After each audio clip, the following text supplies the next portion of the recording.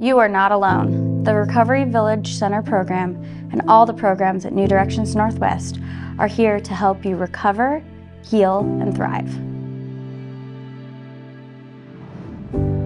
Recovery Village is a 16-bed medical and social detox facility and a five-bed crisis respite center. It's amazing the difference you can see from day one when they come in. There's a big difference just when you've had a hot shower and a meal. People need to know that they're safe here and they're comfortable. That is our ultimate goal, to care for you and give you the safety net that you need at that moment.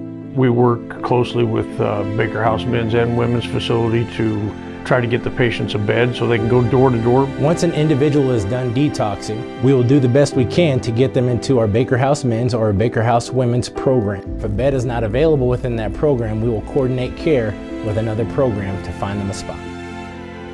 New Directions Northwest is the community mental health provider for Baker County, and we also offer substance use disorder outpatient and inpatient programs.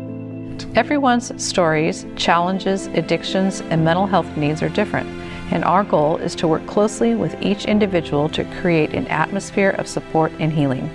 For those y'all that are struggling, reach out. We are here. There are people out there, and you're not the only ones. It is an honor to be able to help save lives every day. Remember, you matter. Let us help take care of you and be on your treatment team as you take one step at a time in your recovery process. You are not alone.